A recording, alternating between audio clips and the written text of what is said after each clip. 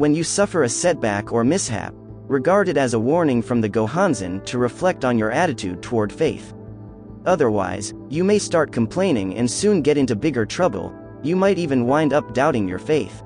But if you take it as a strict warning from the Gohonzon, you can reflect on your attitude toward faith and thank the Gohonzon for the fact that the accident wasn't serious. Then you can apologize to the Gohonzon for any past insincerity and pledge to strengthen your determination for Kosen Rufu. This is how to avert more serious accidents that might happen in the future. When something bad happens to you, no matter how trifling it may be, if you think of it as significant to your faith, you can make it a cause for happiness. On the contrary, even though something serious happens to you, if you fail to think it significant to your faith, it will become a cause for unhappiness. Therefore, check your attitude toward faith so that you can consider even a small incident as something valuable and significant. That's how you can change poison into medicine, visible benefits are not as great as invisible benefits.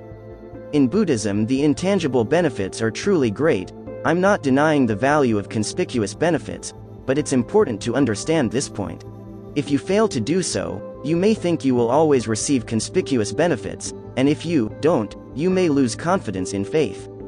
We can understand the concept of conspicuous and inconspicuous benefit in terms of absolute and relative happiness. To improve one's life materially and physically is to attain relative happiness.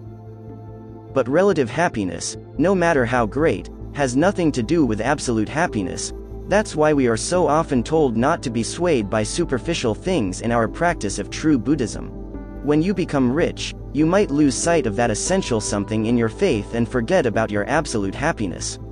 No matter what happens to you, you should continue to chant to the Gohonzon. When you feel happy, you should thank the Gohonzon for your happiness. When you feel sad, you should pray to the Gohonzon so that you can replace the sadness with joy. In any event, it is the Gohonzon alone that you can depend on. Thank you. Till next time, have a great day.